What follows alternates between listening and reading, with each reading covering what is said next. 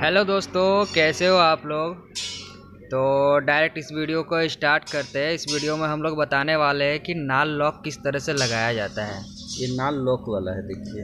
इसमें दो लॉक लगता है एक यहाँ लगता है अच्छा। यहाँ लगता है एक यहाँ लगता है दो जगह। दो जगह लगता है। नाल लॉक बोलिए या फिर सेटल लॉक बोलिए या दोनों ही बोला जाता है।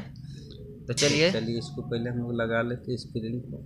तो चलिए पहले स्प्रिंग को इस तरह से लगा दो तरह का होता है एक लेफ़्ट होता है एक राइट होता है अच्छा एक लेफ़्ट और एक राइट होता है ना? हाँ, दोनों अलग अलग वो अगर उल्टा लगा देंगे तो लोग नहीं पकड़ेगा।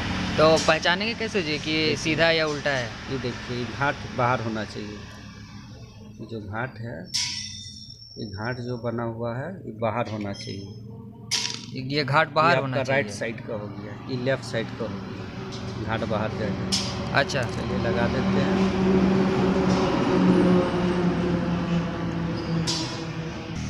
इसको टाइट हिसाब से करना है। हिसाब से मतलब ज़्यादा कस के भी नहीं। नहीं ज़्यादा भी नहीं कम भी नहीं होना चाहिए।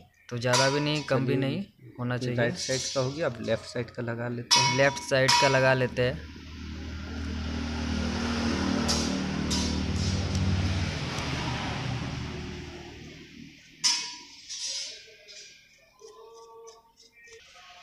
चलिए ये भी टाइट हो गया आपका चलिए ये भी आपका जो है टाइट हो गया है। देखिए ये लॉक है। ये लॉक अगर हो गया। उल्टा लगा देंगे तो लॉक नहीं पकड़ेगा इसीलिए देख के लगाया जाता है। लेफ़्ट और राइट लेफ़्ट और राइट देख के लगाया जाता है ना? ये आपका राइट साइड हो गया ये लेफ़्ट साइड हो गया। अच्छा। तो इस तरह से जो है लॉक लगाया जाता है ठीक है?